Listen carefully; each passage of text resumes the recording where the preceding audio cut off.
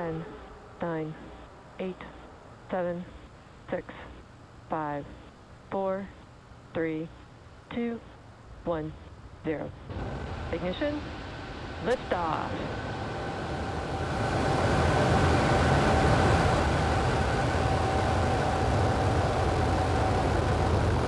Equal pitching downrange. Stage one propulsion is nominal.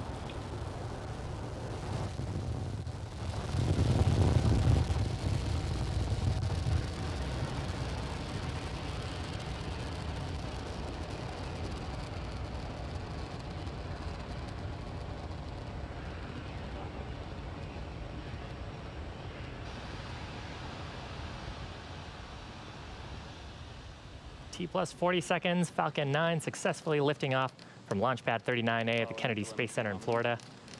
Uh, we're taking that Starlink orbit to its first, Starlink satellites to its first targeted orbit and eventually a circular orbit.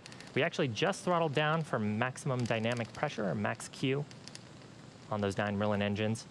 We'll expect to hear that call out here shortly. Vehicle supersonic.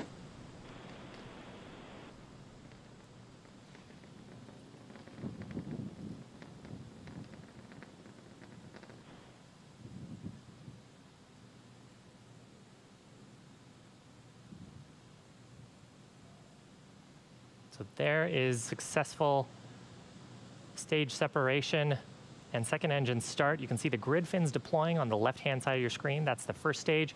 On the right-hand side of your screen is the Merlin vacuum engine starting to glow brightly with the heat of that combustion reaction. First stage making its way back towards Acquisition of planet Earth. Maryland. Coming up here, should be fairing deployment shortly. Separation confirmed. There's a call out on the nets and a beautiful shot of the Starlink satellites. You can see on the right hand side there a little bit of planet Earth. And actually, you can see a fairing half there trailing away. Stage one entry burn startup. Startup of those three Merlin 1D engines on the first stage, second stage continuing to burn nominally. Expected loss of signal, Cape. Stage one landing leg deploy.